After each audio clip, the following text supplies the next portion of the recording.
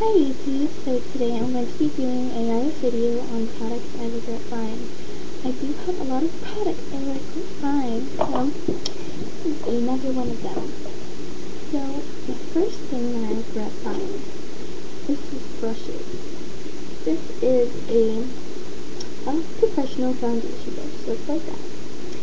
Now I do appreciate the way um, it looks. No.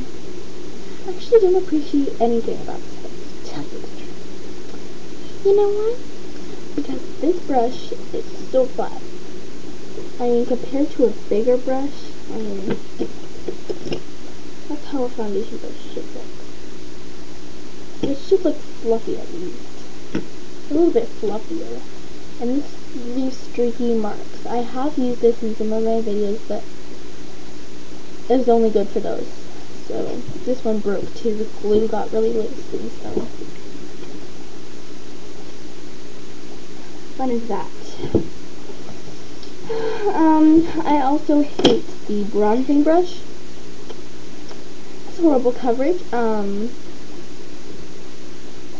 it gets split really easily, really messy does a horrible job, and I hate the Total Face Brush It because the hair come out in chunks and um, horrible quality too.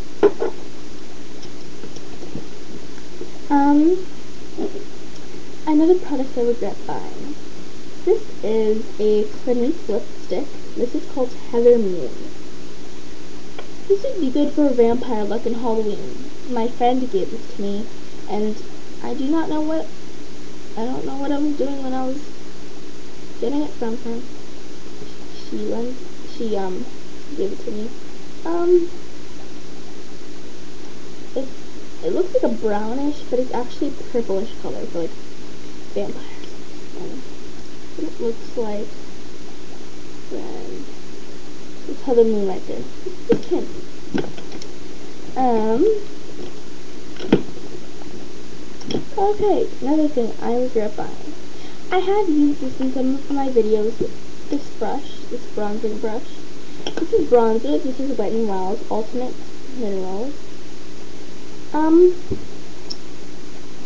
the only thing I do not like about this is that it has really bad coverage. It just looks streaky. You want it to be a natural glow. So if you do want to get a good mineral powder like that, Bare Minerals has very good ones. I tried one of those out one time. This is 167 Amber Glow. So I wouldn't recommend this. If you're gonna go get this, mm, just be careful.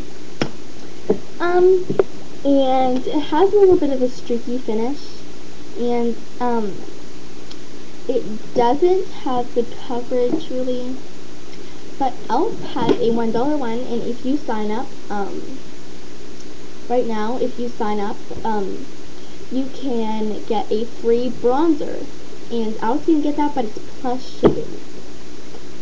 So you just have to add this little code, and you have to sign up for your email and make an account. So, that was a short video, but that is the products that I regret buying.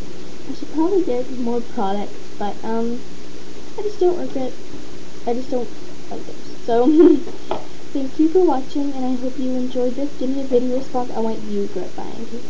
I want to know what you regret buying so I can watch out.